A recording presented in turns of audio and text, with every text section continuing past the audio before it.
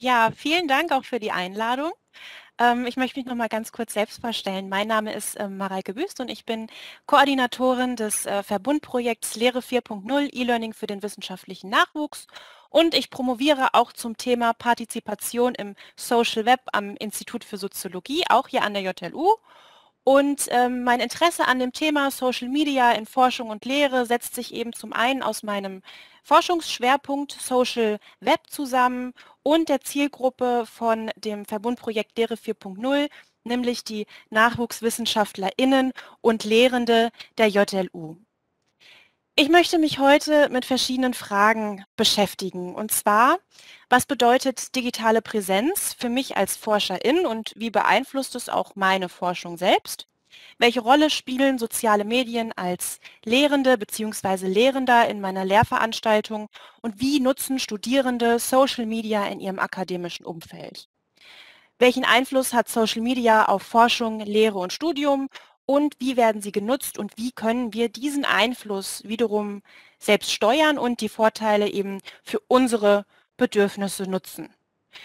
Bevor wir die Fragen am Ende hoffentlich alle beantwortet haben, müssen wir uns folgende Fragen stellen, nämlich was ist Social Media und welche Plattformen gibt es?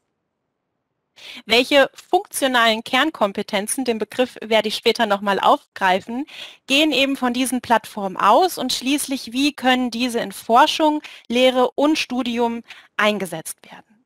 Und dann möchte ich eben auf die erste Frage direkt zu sprechen kommen, nämlich was ist Social Media? Social Media setzt sich aus drei Komponenten zusammen, nämlich dem Produkt, der Anwendung und der Plattform. Das heißt dem Content, der Application und dem Social Network. Medien bzw. die Produkte, die auf sozialen Medien geteilt werden, den sogenannten User-Generated Content, ähm, werden eben mit dem Ziel der Kommunikation, des Austausches und der Vernetzung geteilt. Und hierbei handelt es sich eben um die Inhalte, Videos, Bilder, Blog-Einträge, Dokumente, Poster etc. pp. Dabei wird zwischen verschiedenen Anwendungen unterschieden, wie zum Beispiel Weblogs, es gibt Mikroblogging, Newsgroups, Foren, Instant Messenger, Wiki, Social Bookmarks, Photosharing, Videosharing. Es gibt neben den Blogs auch noch Vlogs. Und da wird auch nochmal unterschieden zwischen On-Demand oder Livestream. Das heißt, bei dem Begriff Application fragen wir uns, um welche Anwendung handelt es sich. Und zum Schluss ähm, ist natürlich auch die Frage, auf welchen Netzwerkplattformen findet Social Media statt. Das heißt, auf welchen Social Networks ähm, findet Social Media statt. Und um hier einige, aber die präsentesten zu nennen, soziale Netzwerke sind beispielsweise Twitter, YouTube, Instagram oder auch Facebook. Um das mal zu visualisieren, habe ich hier das sogenannte Social Media Prisma mitgebracht. Das ähm, Social Media Prisma gibt schon einen sehr guten Überblick über die Masse an Social Media Plattformen und Apps und auch die zahlreichen verschiedenen Einsatzgebiete. Und was wir hier aber auch sehen, ist, dass es eben wahnsinnig viele verschiedene Funktionen und Einsatzarten von Social Media gibt, beziehungsweise dass es auch diverse Möglichkeiten der Aneignung gibt. Ähm, wir sehen hier zum Beispiel die Plattform, das sehen wir hier innerhalb der bunten Blume und die Art der Anwendung. Das sind die Stichworte, die hier außen rum zu sehen sind. Ähm, der Content, der auf diesen Plattformen entsteht, ist der Content, der durch die User generiert und geteilt wird. Hier unten sehen wir nochmal den Rest der Blume, die ist so groß, deswegen habe ich sie ein bisschen aufgeteilt, damit man es etwas größer sehen kann. Hier sehen wir jetzt beispielsweise Plattformen wie zum Beispiel Facebook, die sich in der Anwendung Social Network eingruppiert und das gleiche finden wir hier beispielsweise bei den Messagern wie Telegram oder WhatsApp beispielsweise. Um die Frage also aufzuschlüsseln, was ist Social Media, ähm, müssen wir die sogenannten funktionalen Kernkompetenzen aufschlüsseln, die eben ganz charakteristisch für den Begriff Social Media ist. Ich habe eine Folie vorbereitet, die einmal diese vier funktionalen Kernkompetenzen auch aufzeigt. Wir haben zum einen die Online Communication, wir haben das Social Networking, wir haben das Social Collaboration und das Social Publishing. Und alle teilen ähm, Beispiele für die Kompetenz, die innerhalb dieser Kernkompetenz ähm, ähm, ganz präsent ist, die Anwendung und auch die Methode. Und ich würde jetzt gerne einmal jede Kernkompetenz durchgehen, um dann eben nochmal genauer aufzuzeigen, was muss eigentlich geboten sein, um sich ähm, Social Media schimpfen zu dürfen und vor allem ähm, möchte ich hier auch gerade bei der Methode schon ein bisschen darauf eingehen, wie man das im akademischen Kontext auch einsetzen kann. Die Tools des Online-Communicating dienen zum Beispiel in erster Linie der Herstellung und äh, Pflege sozialer Kontakte und werden ähm, vorrangig für Kommunikation und Interaktion mit einem argumentativen Austausch verbunden. Hier wird unterschieden zwischen synchronen und asynchronen Tools, beispielsweise Instant Messaging oder Chat-Funktionen, Audio- oder auch Videokonferenzen. Bei den asynchronen Tools sind solche Tools genannt wie E-Mails oder Foren. In vielen Lehrveranstaltungen werden ja bereits so etablierte Tools wie E-Mails oder Foren hier und da auch schon mal Chats angewendet. Es findet aber auch immer mehr die Anwendung, dass Messaging-Dienste eingenutzt äh, genutzt werden, häufig auch von Studierenden, die mit den vorhandenen Tools ähm, nicht klarkommen, beziehungsweise die eben nicht ganz in der Lebensrealität der Studierenden angekommen ist und die sich dann natürlich mit Tools oder ähm, Netzwerken auseinandersetzen möchten, die sie selber auch in ihrem Alltag nutzen, beispielsweise WhatsApp oder Telegram oder Trema. Ähm, diese Messaging-Dienste oder beziehungsweise diese Instant Messaging-Tools werden aber natürlich auch im Bereich von Online-Konferenzen für Feedbacks, Diskussionen oder auch eine thematische Vertiefung eingesetzt. Unter Social Networking versteht man Tools, die in erster Linie zur Darstellung der eigenen Person und äh, ja, zur Herstellung und Pflege von sozialen Kontakten in diesen Netzwerken genutzt werden, wobei hier aber auch die Kommunikation und die Interaktion ähm, vorrangig zur Kontaktaufnahme dienen. Und dabei unterscheiden wir in Business Networks, Networkings beispielsweise Xing oder LinkedIn ähm, oder private Networking-Seiten wie zum Beispiel MySpace, wer es noch nutzt, oder Facebook oder damals auch noch StudiVZ oder ähm, SchülerVZ beispielsweise.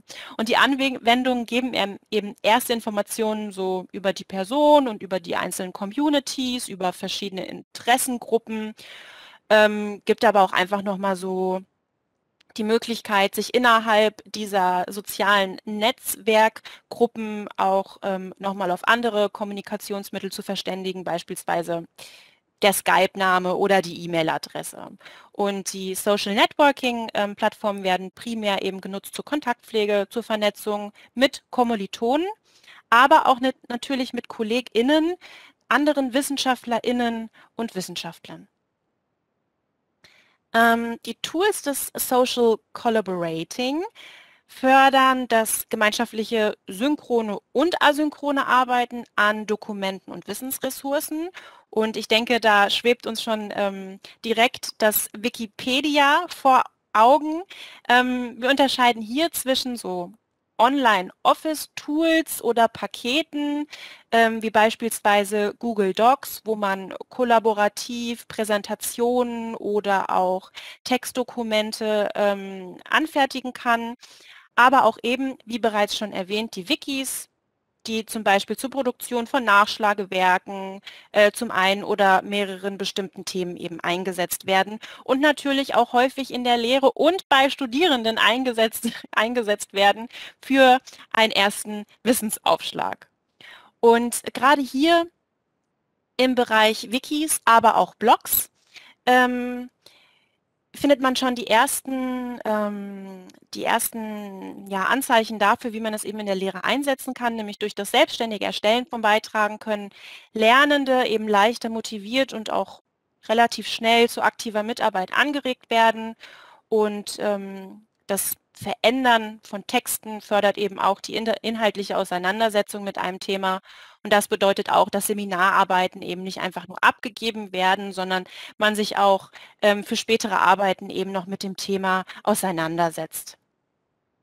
Ähm, zum Schluss ist ein zentraler Bestandteil des Social Publishing, natürlich selbstproduzierte mediale Inhalte, aber auch äh, die Reflexion von medialen Inhalten anderer NutzerInnen eben mit bestimmten Interessen der Öffentlichkeit zur Verfügung stellen. Und dabei geht es ähm, nicht um das gemeinsame Bearbeiten und Verändern von Informationen, so wie es jetzt beim Social Collaborating der Fall ist, sondern es geht wirklich eher um das Bereitstellen, um das Veröffentlichen von Informationen bzw. von Content, den man selber hergestellt hat. Auch hier ist ein Beispiel der Webblog, der eben als äh, persönlicher oder auch institutioneller Informationsspeicher dienen kann, in dem eben erarbeitetes Wissen ähm, individuell strukturiert, archiviert und veröffentlicht werden kann. Gleiches gilt aber auch natürlich für Plattformen im Bereich Social Sharing oder Publishing. Da haben wir auch beispielsweise Instagram, wo man natürlich dann auch ein Content ähm, veröffentlicht, der aber eher im medialen Medium wie Bild oder Video seinen Platz findet. Ein Beispiel, wie man eben diese funktionalen Kernkompetenzen und auch die Plattformen, die wir eben schon gesehen haben, auch in der Lehre einbauen kann, möchte ich an einem Beispiel zeigen von einem Lehrenden der JLU Gießen und möchte hier einmal auf Dr. Leo Will aus dem Fachbereich 05 vom Institut für Anglistik äh, zu sprechen kommen. Ähm, Dr. Leo Will promovierte 2018 und beschäftigt sich eben in seinem Projekt TEFL, Teaching English, English in a Foreign Language, ähm, mit in seiner Lehrveranstaltung mit Twitter. Er hat selber einen Twitter-Kanal erstellt, in dem er Fragen, die innerhalb seines Seminars ähm, äh, zustande gekommen sind, innerhalb von Twitter postet und seine Follower ähm, nach einer Antwort oder nach einem Diskurs fragt.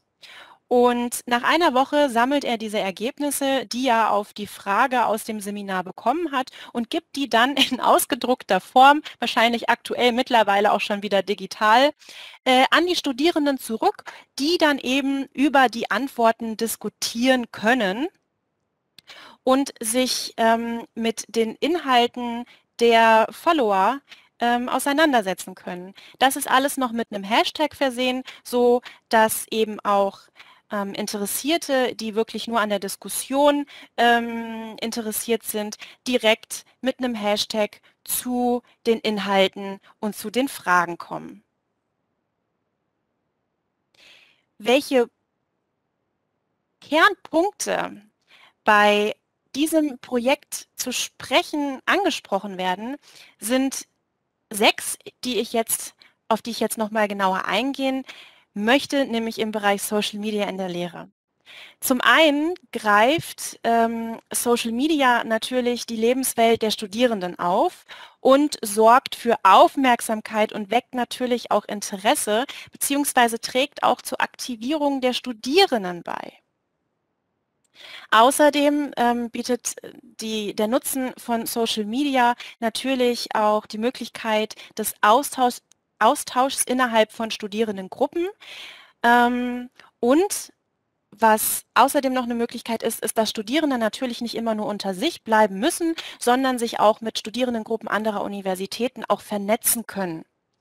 Dann haben wir den Punkt der Materialdistribution. Gerade wenn Studierende beispielsweise mit Tools wie Wikis oder Blogs arbeiten, findet man natürlich hier im Gegensatz zu, ich sage jetzt mal einer eher trockenen Hausarbeit, hier die Möglichkeit, sich auch nochmal mit einem ganz anderen Medium auseinanderzusetzen und ähm, alle Informationen, die eben beispielsweise zu einem bestimmten Thema erarbeitet werden sollen, an einem Fleck und das auch online. Was mich auf die Punkte Medienkompetenz und Digitalkompetenz zu sprechen bringt, denn durch die Auseinandersetzung mit Tools wie beispielsweise Wikis oder Blogs, nur als Beispiel genannt, ähm, setzen sich die Studierenden natürlich auch im Umgang mit Medien und auch im Umgang mit digitalen Medien auseinander und üben sich so in ähm, Medienkompetenzen und auch in ihren Digitalkompetenzen, was natürlich auch auf die spätere Karriere vorbereitet, wenn in dem Arbeitsfeld auch das Interesse besteht, weiter tätig zu sein. Und dann zum Schluss natürlich noch die Kollaboration. Das heißt, man kann natürlich mit Social Media Tools, auch gerade auf den Plattformen für Social Networking, natürlich auch Gruppenarbeiten umsetzen und so eben das Zusammenarbeiten von einzelnen Studierenden oder auch von Studierendengruppen ähm, umsetzen. Gerade im Bereich Social Media in der Lehre sollte man prinzipiell immer vorsichtig sein, denn es gibt Zugangsbeschränkungen. Alle sozialen Netzwerke funktionieren nur über einen Zugang, über das man ein Profil benötigt. Das heißt, es ist nicht inklusiv, sondern eher exklusiv. Man sollte immer auf ähm, die Datensicherheit und auf die Persönlichkeitsrechte der Studierenden achten und sich hier immer an die Prämisse der DSGVO halten. Und man sollte natürlich sich auch immer darüber im Klaren sein, dass ähm, Profilidentitäten von anderen, die auf die Studierenden zukommen, innerhalb von ähm, sozialen Medien immer ungewiss ist. Wie man Social Media in der Forschung einsetzen kann, möchte ich auch nochmal anhand ein paar Beispiele aufzeigen. Zum einen möchte ich hier einmal aufzeigen den Twitter-Kanal der DFG. Äh, der Deutschen Forschungsgemeinschaft. Was wir hier einfach nur mal sehen, ist, dass DFG sich beispielsweise auf Twitter ähm, tummelt und einfach heute hier nochmal als Beispiel dient, dass eben auch ähm, offizielle Institutionen natürlich auch sich mittlerweile ähm, im Bereich Social Media angesiedelt haben und das auch nutzen, um auf sich aufmerksam zu machen und auch Informationen weiterzugeben. Ich möchte aber auch nochmal auf zwei prominentere ähm, WissenschaftlerInnen eingehen. Zum einen Nico Rittenau und die wahrscheinlich mittlerweile allseits bekannte Mighty Kim. Ähm, Nico Rittenau veröffentlichte beispielsweise 2018 während seines Studiums sein erstes Buch und den Bestseller Vegan, Vegan Klischee AD und schloss 2020 sein Masterstudium zum ähm, Mikronährstofftherapie und Regulationsmedizin, das musste ich selber nochmal nachlesen, an der privaten Fachhochschule ähm, des Mittelstands in Bielefeld ab und ähm, ist aktuell als Koch, Autor und Ernährungsberater tätig. Und was wir hier sehen, ist auf der einen Seite ähm, der Header seines YouTube-Kanals, ähm, im Februar 2020 und auf der rechten Seite der Header seines YouTube-Kanals von Juni 2021. Die Screenshots sind heute noch entstanden und hier würde ich mal den Tipp geben, schauen Sie sich gerne mal die Abonnenten an in in was für einer rasenden Geschwindigkeit die Abonnenten gestiegen sind, was meiner Meinung natürlich auch nochmal zeigt, wie ähm, spannend sich Social Media eigentlich ähm, entwickelt hat. Das gleiche sehen wir hier unten bei ähm, Mighty Kim, beziehungsweise auf ihrem Instagram-Kanal MyLab. Mighty startete 2015 mit ihrem YouTube-Kanal MyLab und promovierte 2017 an der Universität in Potsdam und ist aktuell als Wissenschaftsjournalistin für Funk tätig. Funk ist ein, so ein Online-Content-Netzwerk der ARD, ZDF und SWR, die unterschiedliche ähm, Formate bedienen. Das heißt, auch Wissenschaftlerinnen und Wissenschaftler nutzen momentan die Stärke von Social Media für sich und was das für Stärken, aber auch für Nachteile sein können, darauf möchte ich in meiner letzten Folie zu sprechen kommen, nämlich Social Media in der Forschung. Jetzt hängt es ein kleines bisschen. Da, jetzt. Ähm, auch hier gibt es wieder Vor- und Nachteile. Zum einen bedeutet Social Media in der Forschung eine Ergänzung traditioneller äh, Publikationssysteme.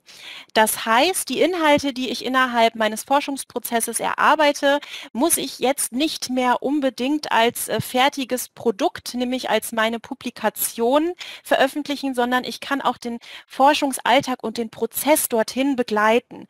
Das heißt, es findet hier ein verkürzter Publikation Kommunikationsprozess statt und die Qualitätskontrolle ist auf viele Schultern verteilt. Das bedeutet zwar eine Demokratisierung des Publikationsmarktes, bedeutet aber auch, dass jeder beitragen kann und man natürlich nicht weiß, wer kontrolliert hier, wer prüft. Das heißt hier die Prämisse, viele Köche verderben auch den Brei. Vor- und Nachteile. Social Media in der Forschung kann natürlich auch ähm, für die Kontaktpflege und Aufnahme zu anderen WissenschaftlerInnen oder auch zu anderen Institutionen oder Forschungsgruppen dienen. Es erleichtert zum einen den, die kollaborative Zusammenarbeit und bietet auch vielfältige Austauschmöglichkeiten ähm, als auch Vernetzungsmöglichkeiten zu anderen Wissenschaftlerinnen und Wissenschaftlern und bietet eben je nach Plattform eben auch eine Kommunikation auf Augenhöhe, denn auf Social Media Plattformen ist es eigentlich gang und gäbe, dass man sich auch duzt und dementsprechend tatsächlich ähm, auch auf einer anderen Ebene miteinander kommuniziert, so wie es man eigentlich aus dem akademischen Umfeld gewohnt ist. Außerdem bekommt man natürlich auch durch die Transparenz und Nachvollziehbarkeit, die eben aufgrund der ähm, sich neu, ja, ich, sag, ich möchte mal sagen, neu formulierten Wissenschaftskommunikation ähm, transparenter geworden ist, eben die Forschung transparenter und nachvollziehbar. Ähm, das heißt, wenn ich auf Social Media beispielsweise meinen Forschungsalltag begleite, dann zeige ich natürlich nicht nur das Produkt am Ende, sondern ich zeige auch, wie es dahin kommt. Das kann Vertrauen, aber auch Misstrauen in die Wissenschaft stärken. Ähm, aber auch hier sehen wir Vor- und Nachteile. Dann schafft es natürlich Zugang über ähm, Interessengruppen und ähm, und zur öffentlichen Meinung im wissenschaftlichen Diskurs, der eben einbezogen werden kann und eröffnet auch den Diskurs über die eigene Forschung, ähm, was auch eben im Bereich des Austausches natürlich gerade im Bereich der Forschung ähm, eine der absoluten Prämissen ist, um neue Perspektiven ähm, zu generieren auf die eigene Forschung. Dann natürlich mit der Auseinandersetzung ähm, des, Medies, des Mediums ähm, lernen auch ähm, Forschende und ähm, WissenschaftlerInnen natürlich mit den Tools umzugehen und fördern so ihre Digitalkompetenz. Und ganz zum Schluss ähm, bedeutet natürlich auch Social Media in der Forschung immer Selbstmarketing. Das heißt, man vermarktet die eigene Forschung, ähm, was aber auch die Möglichkeit bietet, Aufmerksamkeit auf die eigene Forschung zu lenken, wenn es denn entsprechend auch angemessen und gewollt ist. Beispielsweise im Bereich, ich möchte meinen Forschungsalltag präsentieren. Das ist auch ein Punkt, auf den ich eben schon zu, zu sprechen gekommen bin, denn es wird eben jetzt nicht mehr nur das Produkt ähm, publiziert, was zählt, sondern es wird, ist der Weg dorthin, der begleitet und bewertet wird. Und letzten Endes, so viel kann ich sagen, gibt es zahlreiche kreative Möglichkeiten und Strategien, Social Media in Forschung, Lehre und Studium auch anzuwenden. Man sollte sich aber auch letzten Endes immer im Klaren sein, dass Social Media immer auch eine gewisse Öffentlichkeit bedeutet, die einem neue Wege erschließen, einem aber auch natürlich Steine in den Weg legen kann. Und damit möchte ich mich ganz herzlich bedanken für die Einladung zu der eCoffee Lecture. Ich hoffe, dass ähm, alle ähm, ja, den Input für sich mitnehmen konnten und ähm, freue mich dann auch später auf YouTube auch über Feedback und wünsche allen noch einen schönen Tag und eine schöne Woche. Vielen Dank für die Einladung.